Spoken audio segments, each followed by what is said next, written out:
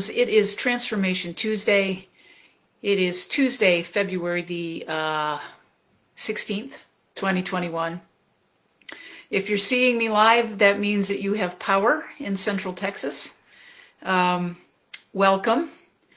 And today, um, just a little bit of background. The reason I say that, um, I'm coming to you from Central Texas very, very historically cold and snowy and icy central Texas on this Tuesday after Valentine's Day.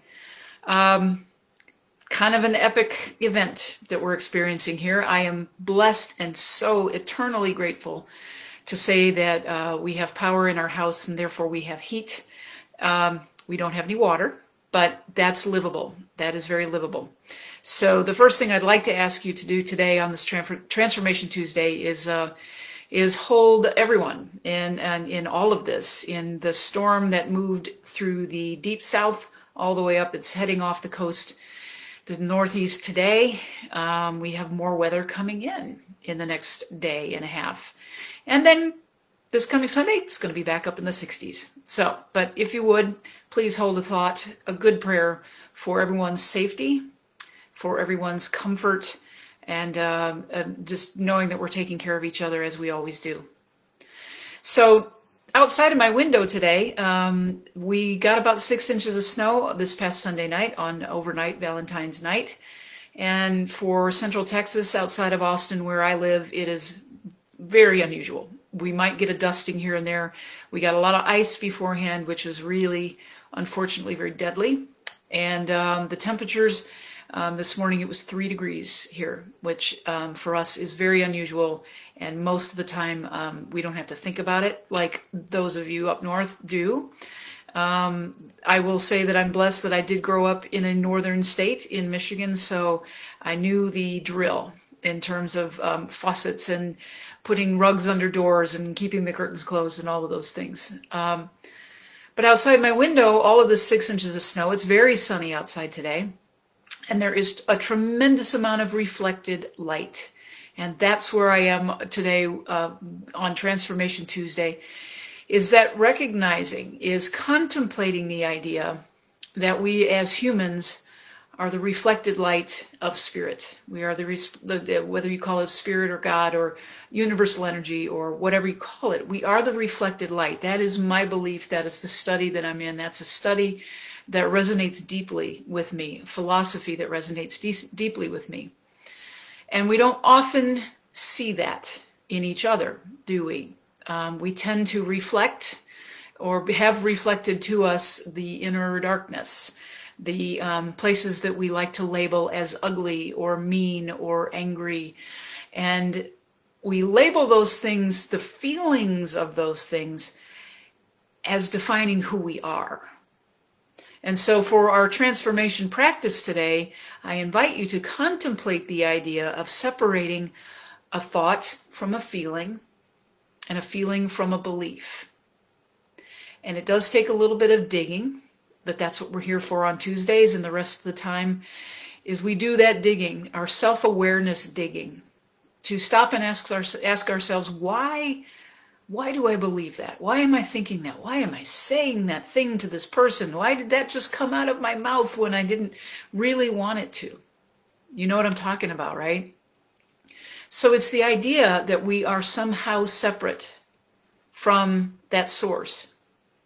And if we go very deeply into it very quickly, deep as in the deep snow that's outside of the window right now, we, we, we call it reflected light because we are the expression of the one light, of that one power, of that one love, if you will. We are reflected, but it is also reflected through us to others.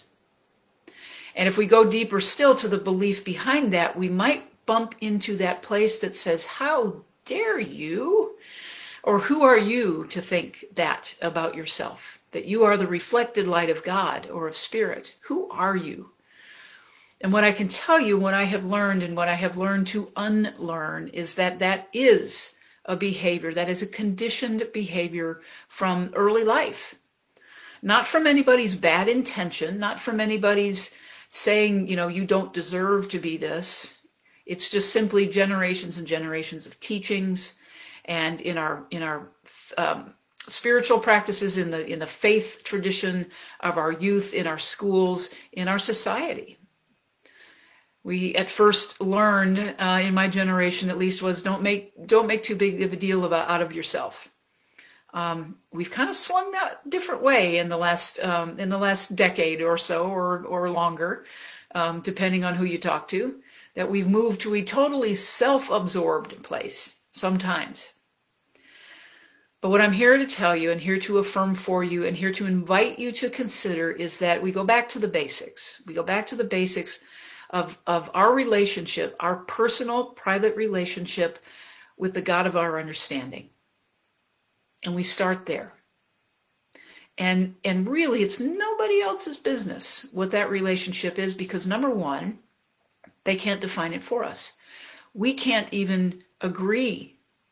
All of the billions of people on the planet throughout the entirety of history cannot even agree on what the definition of God is any more than we can define what love is, what beauty is. All of those things that we try to describe the experience of and cannot do.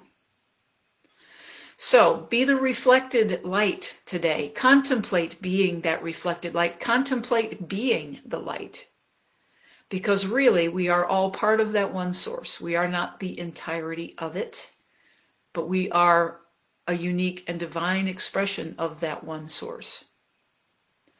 So as you're staying warm, as you're taking care of one another and checking in on each other, wherever you are in this country, no matter what the situation, no matter what the weather, begin with that relationship and know that you are never separate from it because it is expressing through you and as you.